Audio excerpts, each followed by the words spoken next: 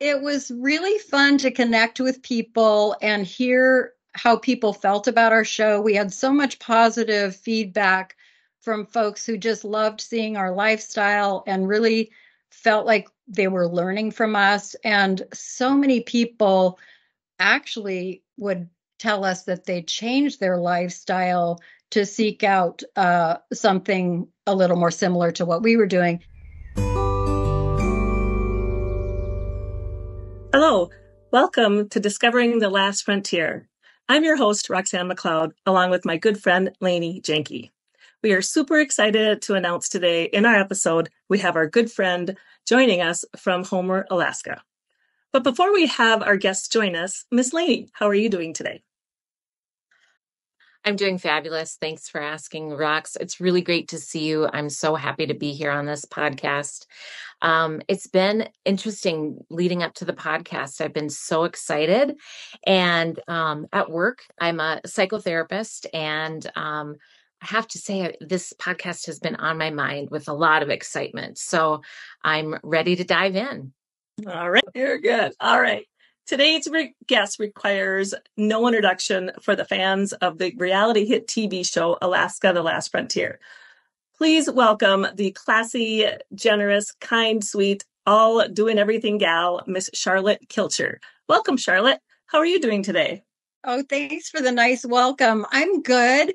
Um, I've been just trying to survive some really cold temperatures this winter. It's been um, a really crazy last 10 days or so and we just got a warm up but before that um it was just below zero temperatures every day and struggling to make sure the animals were all fed and taken care of and um, that the animals would survive. And at one point, um, I was bringing a lot of animals into the house, and um, Otto was none too pleased about that oh, because um, I have these little these little chickens. They're called Seramas, and it's the tiniest breed of chicken that there is.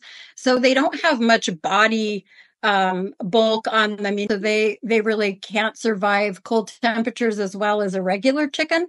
So, um, and then they also can freeze their combs. And even though I have a heat lamp in my chicken coop, uh, my peacocks hog the heat lamp. And so those tiny chickens, I'm always afraid they're not going to stay warm enough. So I had a kennel of like eight tiny chickens in the house and then a separate kennel of an, a separate rooster.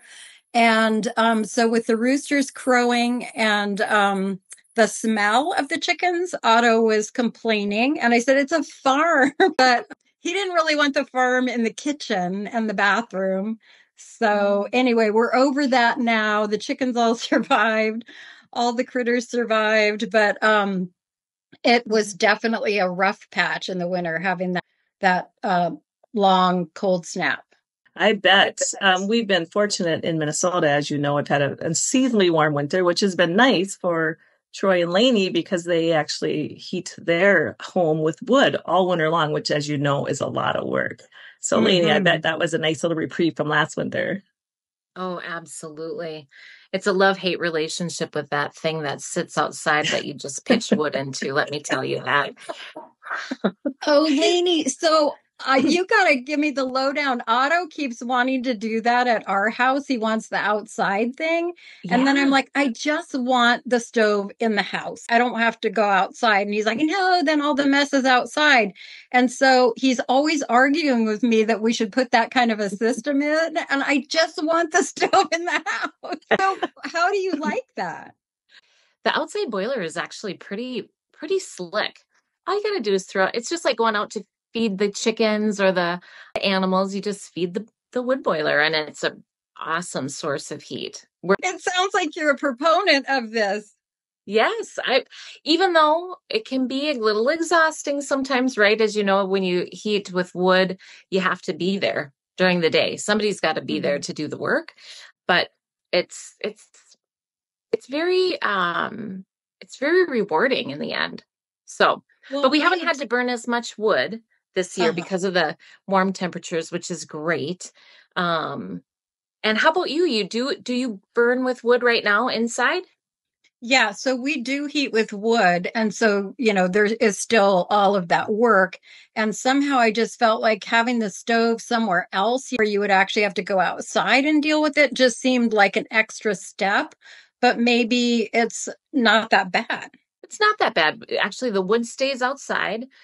Mm-hmm. If you mm-hmm. think of it, the extra step could be bringing the wood in the house, but right. it's, it's kind of how you like it.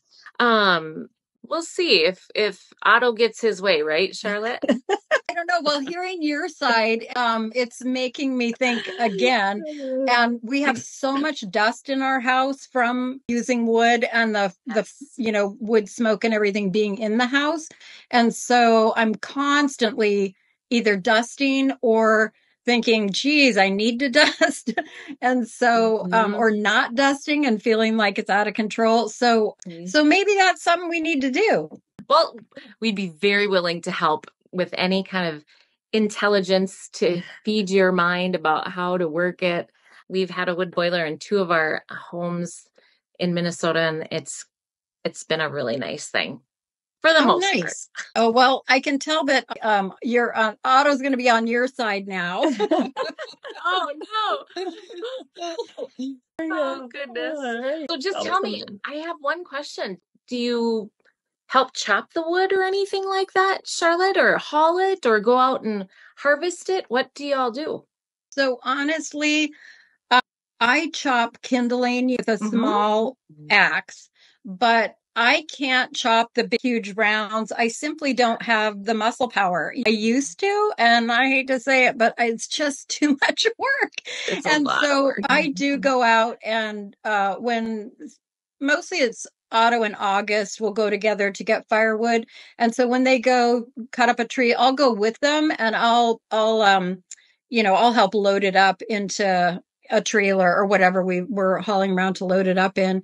And I haul it from the woodshed into the house or I stack wood. I'll, I'll do that, but I really can't, you know, just the, um, the axe or the maul or whatever it is that, um, Otto uses to chop wood.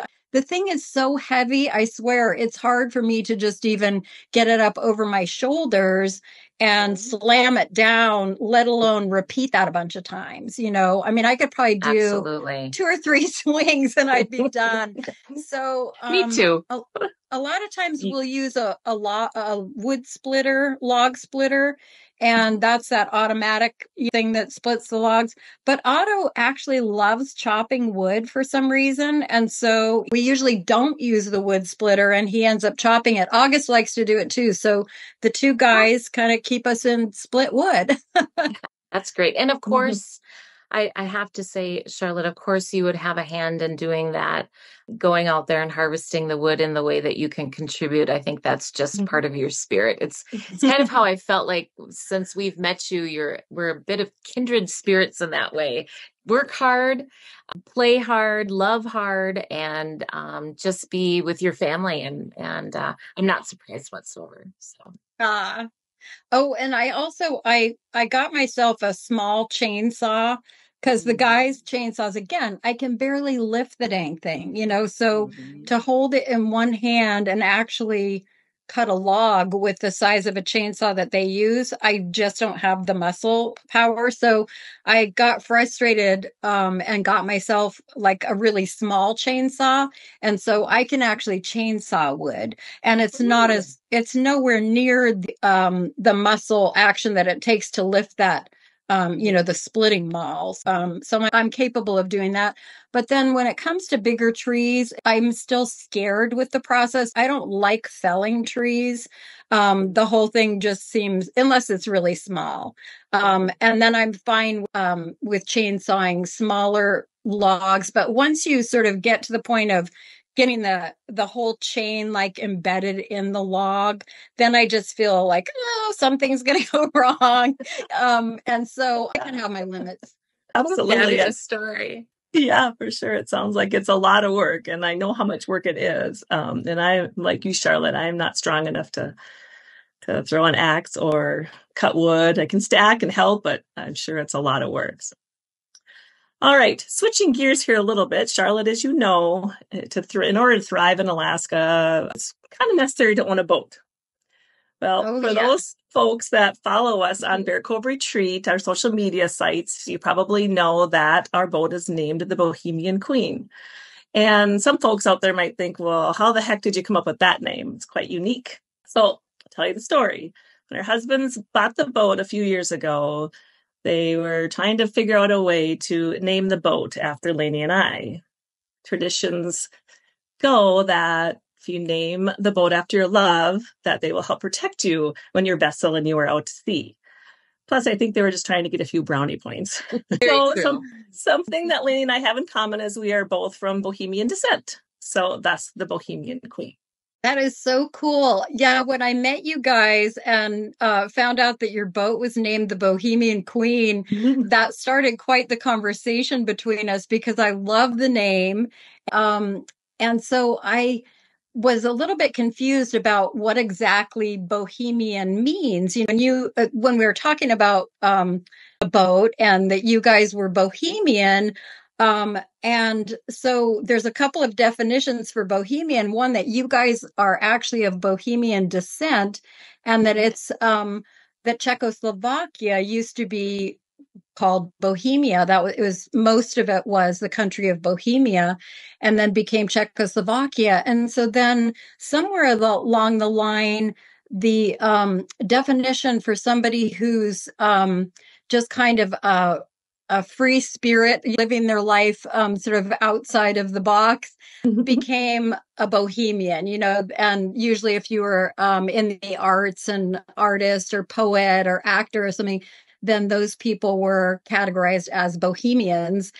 And so I wasn't quite sure what um, exactly the origin of like the bohemian lifestyle was and i've always been super attracted to what they call like boho the, the decoration style mm-hmm. and stuff i just love all the color and um i don't know just the craziness of it it's just super um engaging and fun. It's, it's a fun style. And so, mm-hmm. it was just really interesting to find out sort of the two definitions of bohemian um and i don't that we're all in the same boat. Well said. Yeah, we are. We absolutely are.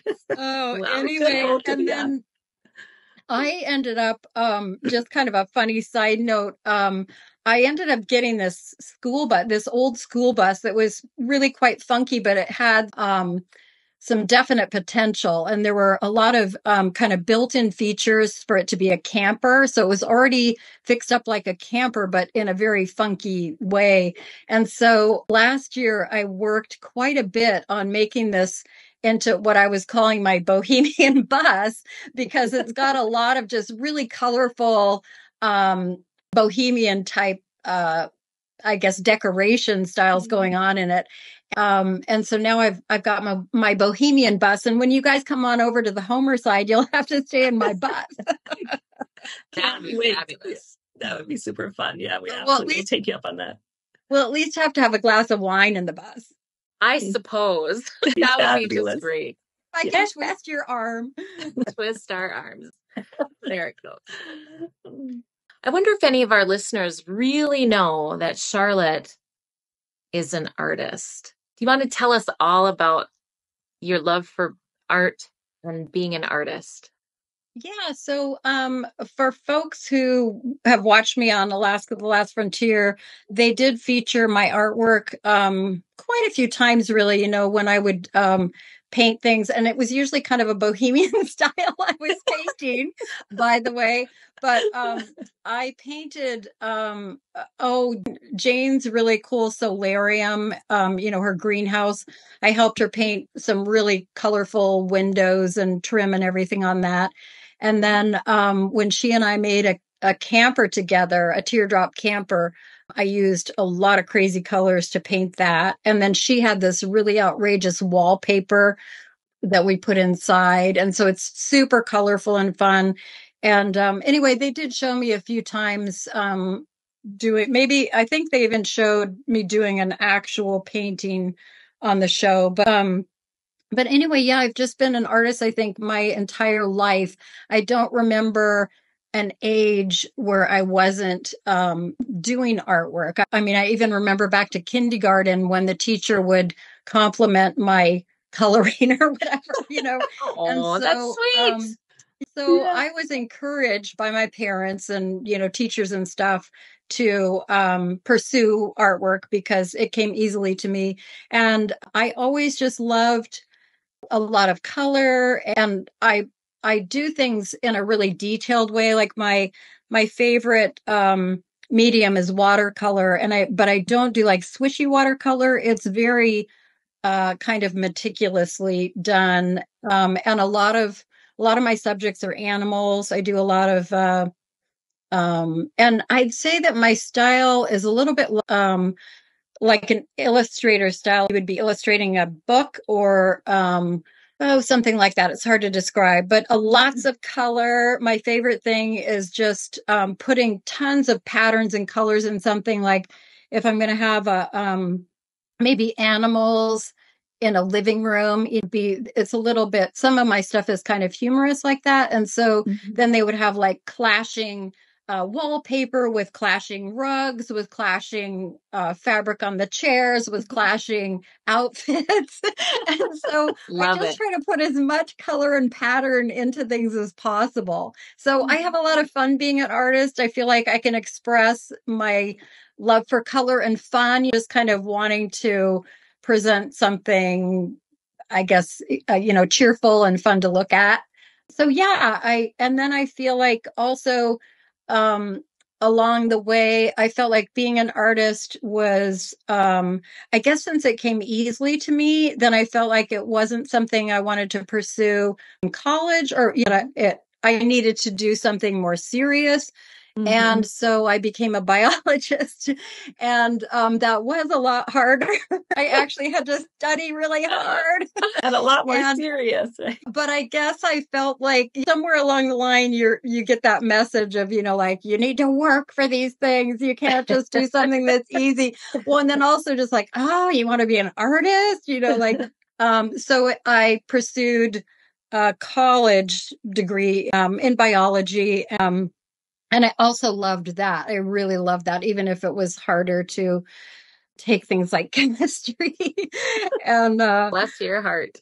Um, but I I really uh, enjoy learning about. Again, I'm really interested in animals. Um, the biology that I've pursued, I I I was most interested in ornithology and ended up um, doing bird studies. I worked for Fish and Wildlife Service when I first came to Alaska and studied seabirds. Um, and then I've done some other, worked for some other consulting firms and whatnot, studying seabirds. And, and so, uh, animals have always been a passion. And, um, that's that. well, I'll tell you, I admire and respect artists for one thing, because I cannot draw a, stick figure. so I really always appreciate folks and people that can do it. I hear another passion is flowers, and it happens to be my favorite flower, the mm-hmm. peony or peony. How do you say it? And tell us about it. One of our sponsors today is Story Film Productions. Would you like some assistance filming a podcast or starting a YouTube channel? Maybe you're looking for someone to help create a commercial for your business, product, or service. Story Film Productions can help. This Minnesota based company can help you tell your story in an impactful way through the art of videography. Visit www.storyfilmproductions.com to set up a free consultation to discuss your video or editing needs. The peony or peony, how do you say it? And tell us about it. Yeah, I say peony. So, peony. um, but I think peony is also a pronunciation. but um, I grow peonies, um, and I've probably grown them for about 15 years now. And I got into them thinking that it would be just kind of a fun thing to be a flower farmer. And Otto has all of his hay and cows and stuff. And so I wanted to do something that seemed more Charlotte centric, I guess, besides my vegetable garden. Mm-hmm. And so I got into peonies and I planted about 400 plants. And I wanted to keep my field down to a level that I could just work with and not really have to hire people to help me. And so I thought maybe that would be kind of a manageable amount. Some of the farms in Homer have um, like 10,000 plants or even more than that, 15,000 plants. And so people with that many plants have to hire help. And so I just didn't want to feel like I had to rely on that. But it turns out that as many plants as I have, a lot of the the um, types of flowers that I planted weren't that good for selling, or um, maybe the buds were kind of funky or, or whatever. And so hmm. a lot of them didn't really pan out as far as being really good flowers. And so I probably have about 200 plants that I really focus on that are good for selling. And, um, and even with 200 flowers it is so much work and so the the farms that have thousands of flowers would look at me as just a hobby farmer 200 plants is really nothing you know mm. but it is so much work and it makes me glad that i didn't plant more because it's well especially just during the growing season it's just a tremendous amount of work um and I love them. They're so beautiful. Um, but sometimes I wonder what in the heck was I thinking? But I, I didn't know how much was involved really because um, it seemed like it was a great idea at the time and that it could be just a little retirement business or something. But it, um, it's definitely full on, you know, when it's growing and picking season, you've got to go out and check the flowers at least about three times a day i have to walk through the field if not more to wow. see whether the buds are at the perfect picking point otherwise if it's hot weather especially they can just pop open and then you've lost the opportunity to be able to keep that flower and ship it um, and so uh, there's just a lot of um, there's so much involved that ends up really tying you down to your field you know you can't go take a trip or really do that much during during the the blooming season other Speaking than tend to your flowers. Yeah, tend to your flowers. Speaking of the blooming season, this last summer when we were up in Homer in July, there's a lot of activities that happen and in Homer surrounded around the peony flower.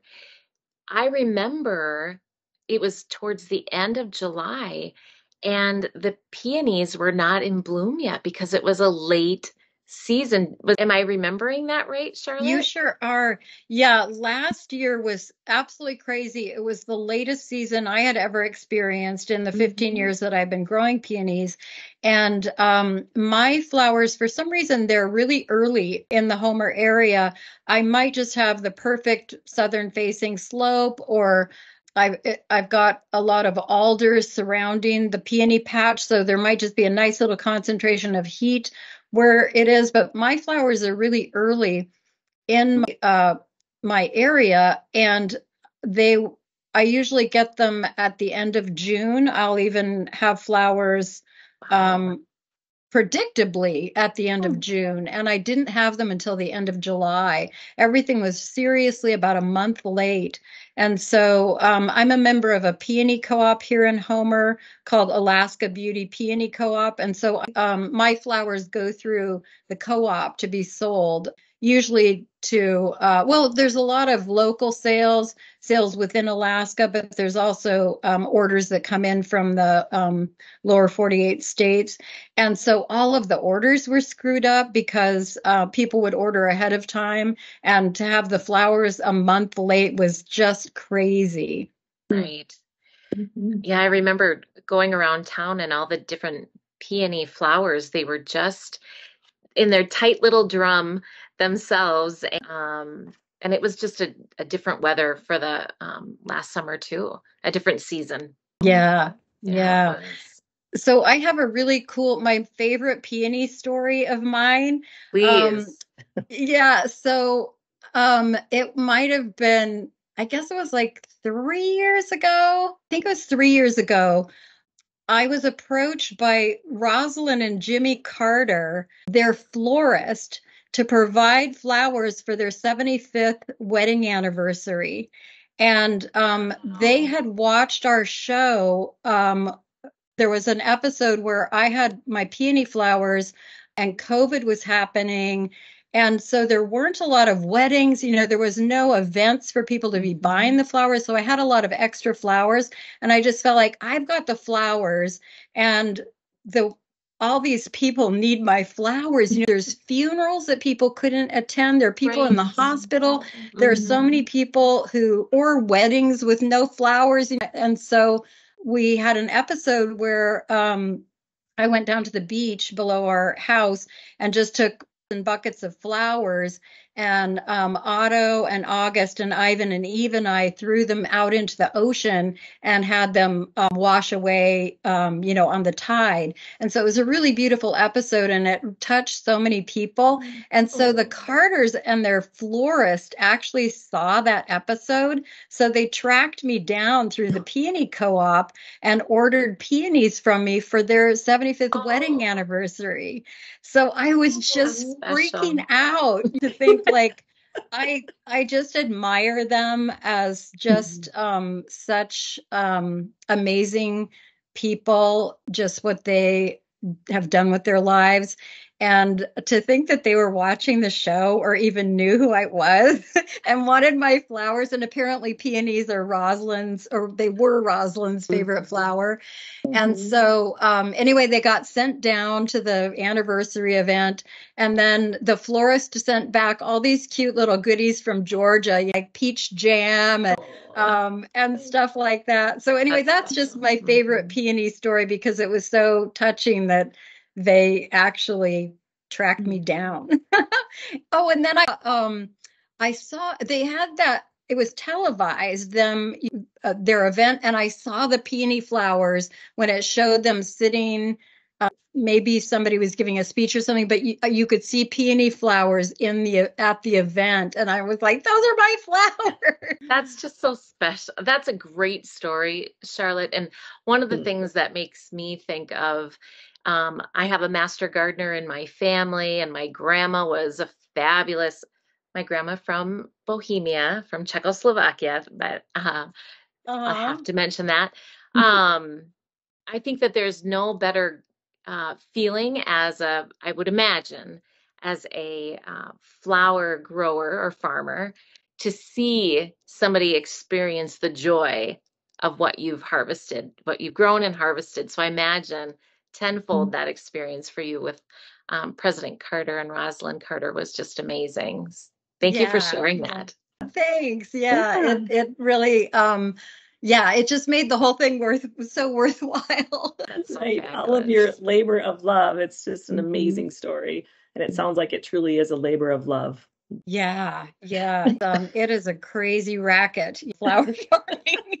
when any of the when you think that farming and all of it has a certain romance and you know thinking oh i just want to be a farmer or or and a flower farmer what could be better? Doesn't that sound great? Anyway there are parts of it that are so wonderful and then the other part is just the hard work. we'll have to come check it out. I'd love to yeah. see your peonies. Mm-hmm. Yes. We when we have some wine on the bus, we'll check out the peonies. Oh yeah, yeah. I'll send we'll you some back together. to I'll send you peonies back to the retreat. There you go. All right. Charlotte, let's talk about the show a little bit. Alaska the Last Frontier. What would you say you enjoyed most about being on the show? Well, it was such an experience. I mean, um, just mind blowing that it even happened to us because it wasn't something we were ever seeking out. We were just found. um, and so we never were planning to be actors or on TV or making a fuss about ourselves. We were just kind of living our lives and living our lives uh, also sort of out of the mainstream. So um, it was really odd to be thrown into um, such the public eye as we were. Um, but I think what I really liked is once we realized that uh, it wasn't going to kill us. it was really fun to connect with people and hear how people felt about our show. We had so much positive feedback from folks who just loved seeing our lifestyle and really felt like they were learning from us. And so many people actually would tell us that they changed their lifestyle to seek out uh, something a little more similar to what we were doing. And it's like that. It's like the flower farming. It sounds great, but then when you really have to do it, it's so much work. So hopefully, the people who tried to make those changes are still happy about it because it is a lot of work. But um, I, so I really loved the feedback from the folks that we would meet or would reach out to us uh, and tell us how much they loved the show and and how much they learned from us. So it made me feel like we were doing something more meaningful than just um I'm going to just say this a stupid reality show. Because there are those. Yeah. Sorry. There really are those. Um, and so I actually felt pride in what we were doing. I felt like we were sharing something really, really good with people.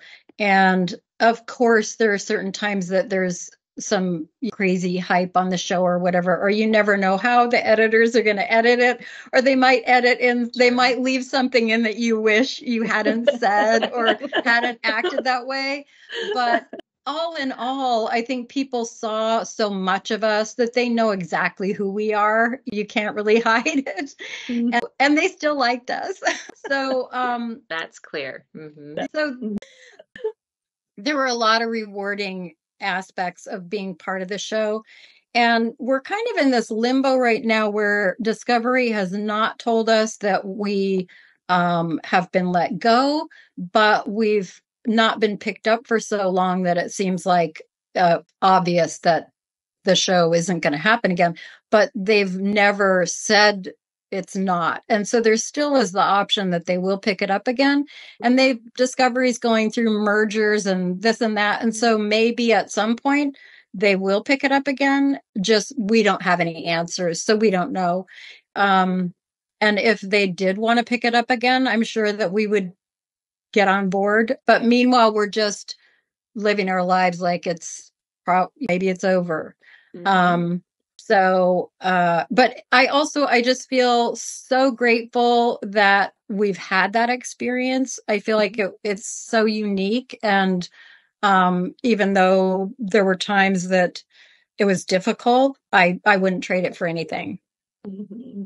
that's that's incredible the, the show itself is incredible. And you know, there's many seasons and many episodes obviously and you have a large fan base. What would you say i know this is probably a very difficult question but what would you say is one of your favorite episodes? Today's sponsor bear cove retreat. Let bear cove retreat be your guide as you embark upon your dream alaskan coastal adventure their off the grid, all inclusive retreat is the perfect option for folks seeking a journey with unique experiences in a serene setting.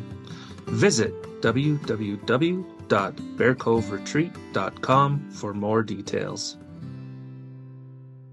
What would you say is one of your favorite episodes?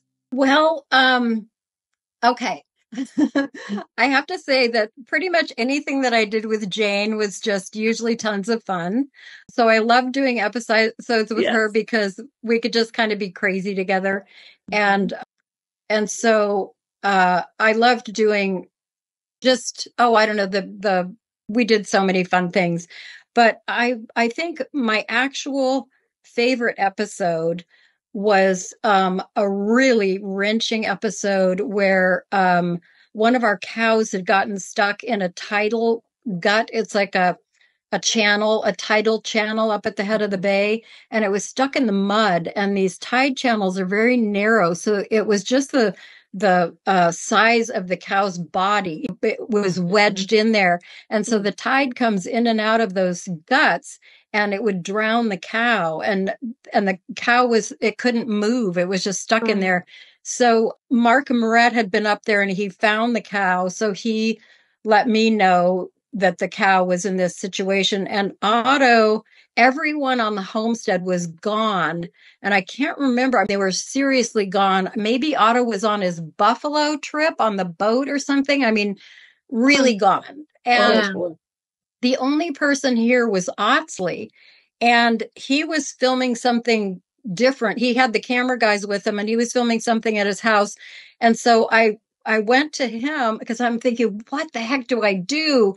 You know, how am I going to just go up to the head of the bay myself and do something with this cow? You know, so mm-hmm. I, I saw Atz Lee and said, and the camera guys, and I said, you guys, we've got a cow that's stuck and the tide will be coming in. It will definitely die. It's just going to die anyway, being stuck in there.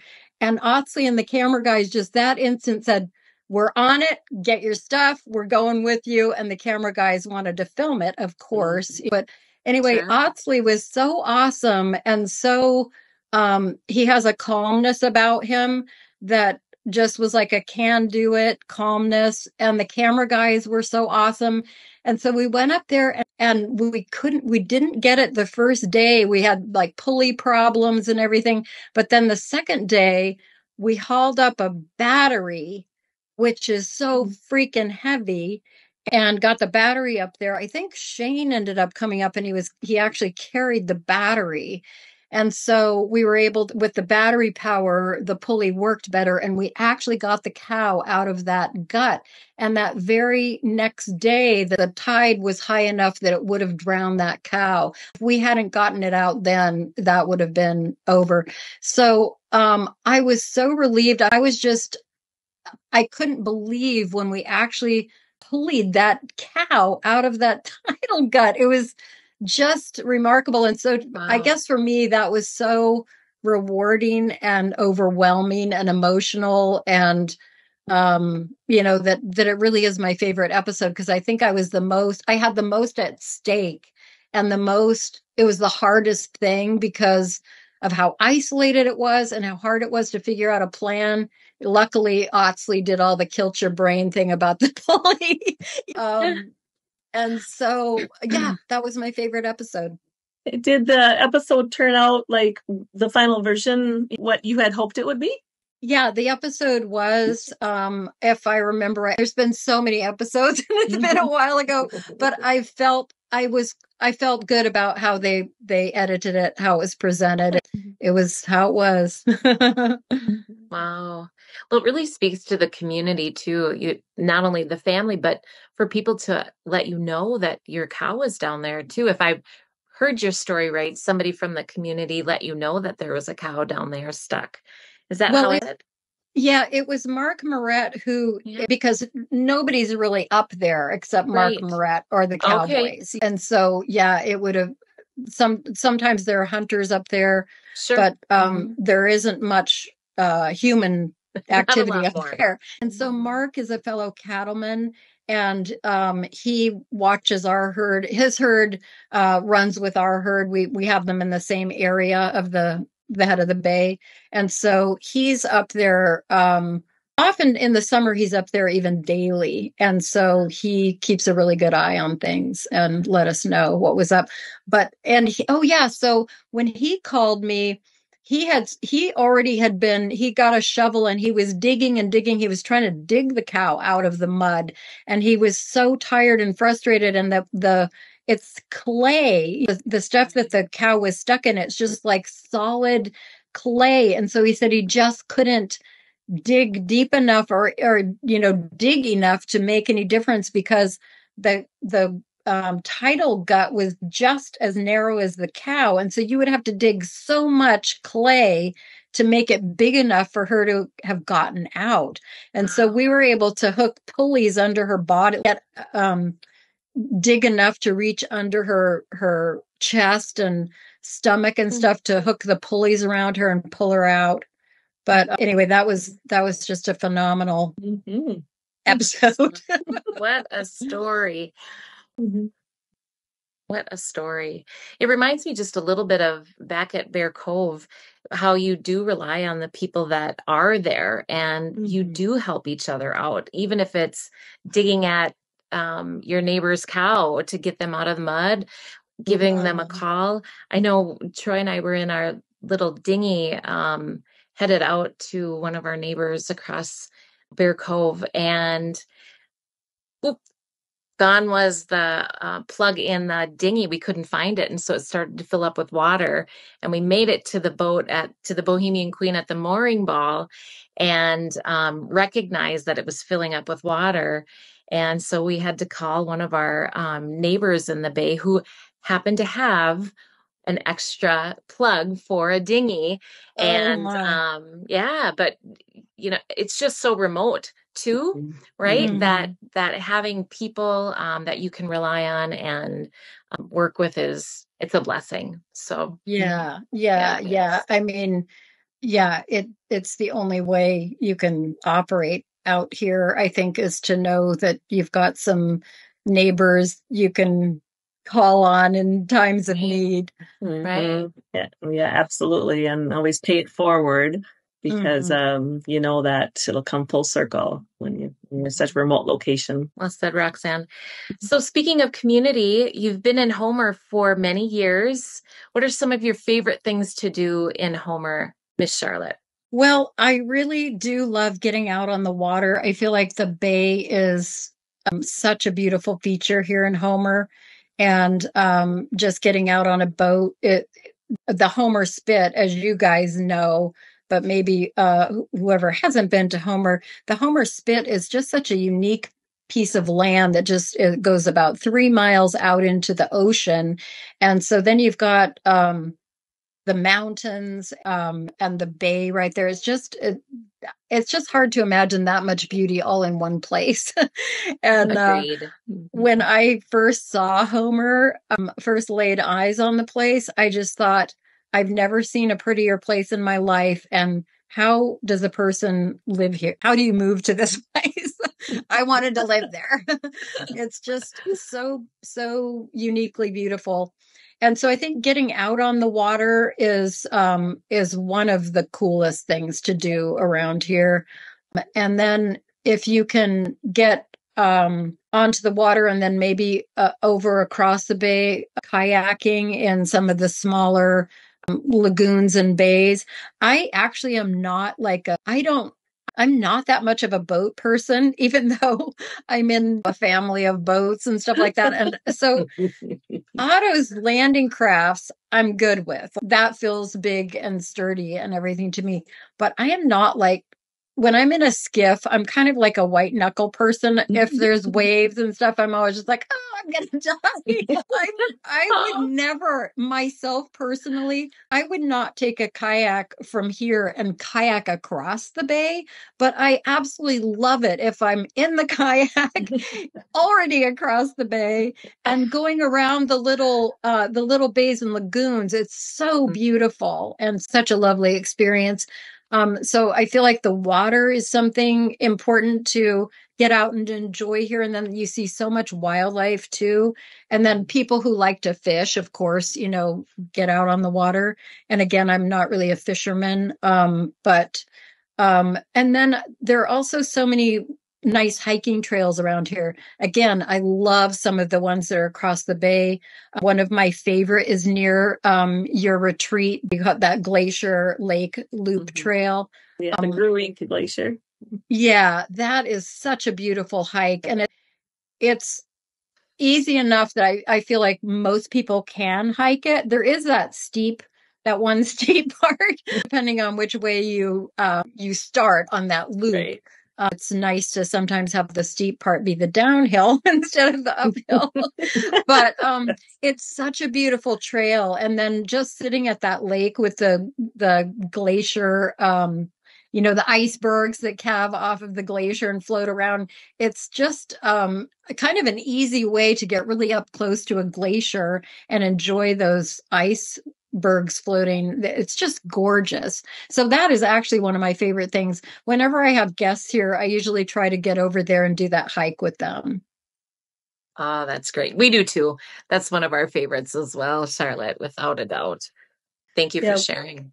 Lainey and I and uh, are kind of like you when uh, back in 2019, the first time we had come up to Alaska and decided to do a camper road trip.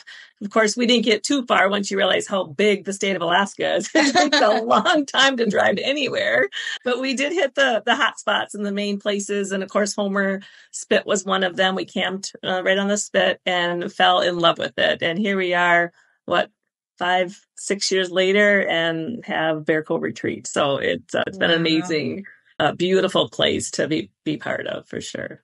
A little side note to that too. When we were building in the first year, we had met Otto for the first time at the East End Saloon. I think you were there too, Charlotte. I think we met each other, but Troy and Otto had been talking on the phone because friends in town had given us Otto's number for, for our build of Bear Cove Retreat. And I just, I love this part of the story. Troy goes, Otto, we have to go say hello. I said, Well, of course we do. so Troy goes up to Otto, puts out his hand, and he says, Otto Kilcher, Troy Janke.